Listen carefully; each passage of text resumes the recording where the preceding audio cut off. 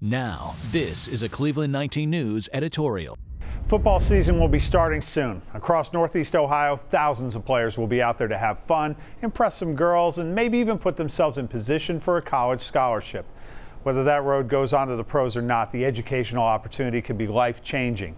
At John Hay High School, one of the people expected to get some attention from colleges is Michael Chapman, who plays quarterback, safety, and wide receiver. Word is he's already being recruited by schools like Bowling Green and Notre Dame. Got to be an exciting time for Michael and his friends and family. But there's a problem. Back on July 6th, Michael asked his mom if he could run to the store. A few minutes later, he was talking to some friends on the corner of Ansel and Kenmore.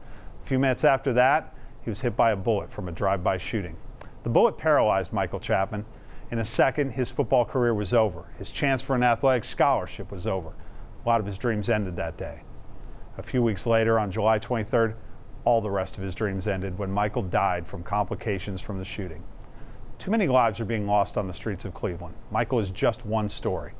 I spoke of Michael in the present tense at the beginning of this editorial, and that was on purpose. I think we're turning the page on those we lose way too quickly. We have plenty of decisions to make in terms of leadership in Cleveland this year.